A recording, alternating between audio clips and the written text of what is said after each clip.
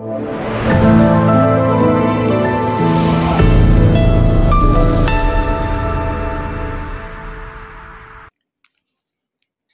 முறையாக எனக்காக தேர்தல் பிரச்சாரம் செய்கிறேன் என காங்கிரஸ் பொதுச் செயலாளர் திருமதி பிரியங்கா காந்தி தெரிவித்துள்ளார்.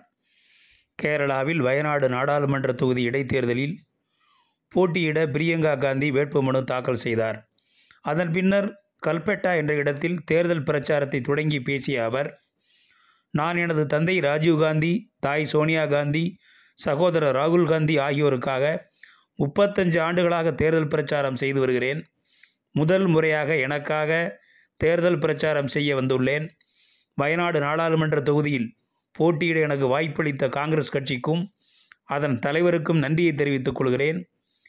நிலச்சரிவு பாதித்த வயநாடு மாவட்டத்தின் சூரல்மலை முண்டக்கை ஆகிய பகுதிகளுக்கு நேரில் சென்று அங்கு மக்கள் படும் துயரத்தை பார்த்தோம். வயநாடு மக்களின் மன தைரியத்தின் ஆழத்தை அங்கு நான் கண்டேன்.